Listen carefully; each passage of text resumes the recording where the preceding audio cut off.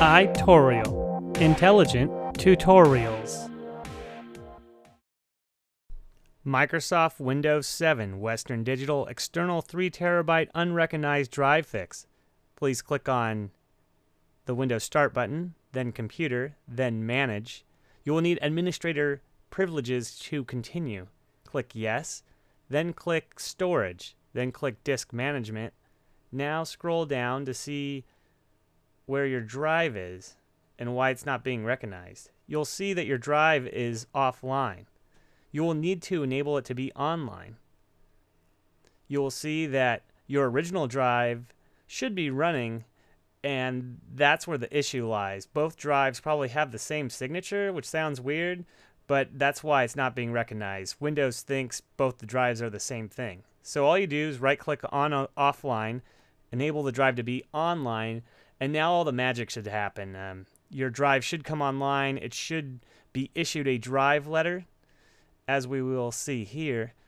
Click on computer and see if the new drive is available. Ah, the new drive is now available as drive N on my computer. It may be different than yours depending on how many hard drives you have on your machine.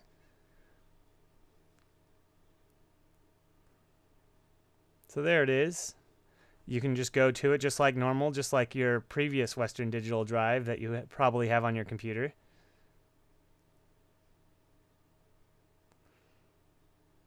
So that's great. Hope hope this fix works for you. Work for me. If you have any questions, drop a line in the comments box below. And thanks for watching. Uh, this has been a iTorial tutorial and we hope you come back soon to watch some more tutorials. Have a great day.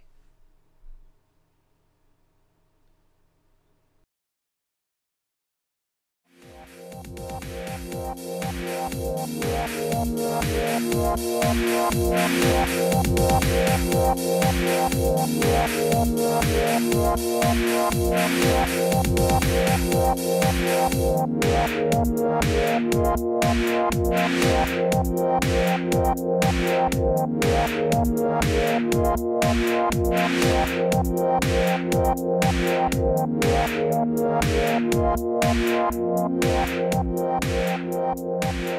you.